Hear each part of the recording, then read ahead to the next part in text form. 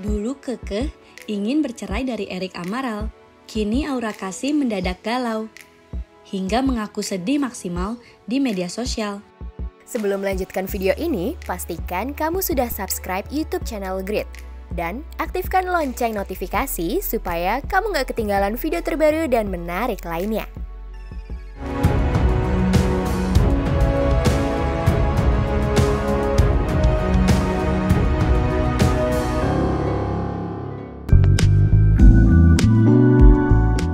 Tak ada angin, tak ada hujan. Sikap Aura Kasih mendadak mengejutkan publik. Bagaimana tidak?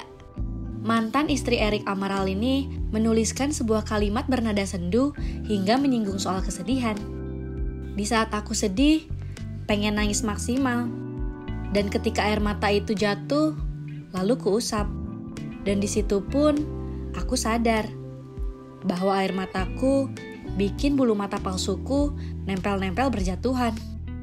Seketika aku tahan nangis sembari ngaca sambil nyisir bulu mata. Ingatlah, pasang bulu mata itu mahal. Mikir lagi deh, kalau mau nangis sesegukan. Perih kena lem. Perih mata ketusuk bulu mata palsu itu. Ah sudahlah, aku sedih. Demikian isi postingan Aura Kasih dikutip dari instastorynya pada Jumat 30 Juli 2021.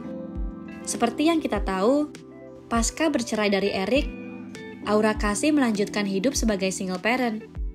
Bahkan, ia harus menjadi ibu sekaligus ayah untuk putri semata wayangnya, Arabella. Ya, Aura Kasih harus membesarkan anak tanpa bantuan seorang suami.